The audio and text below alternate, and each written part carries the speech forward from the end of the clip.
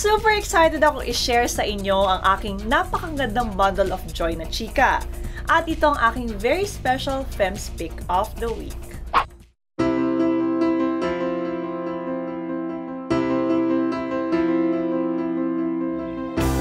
I'm very proud to announce that I am 21 weeks pregnant.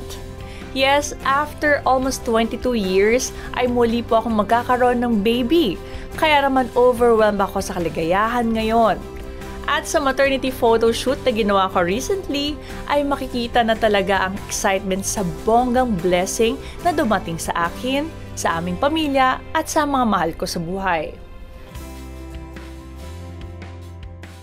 At yan ang mga ganap sa showbiz this week. Join us again next week para malaman ko ng in, anong trending at anong ganap. Stay safe everyone!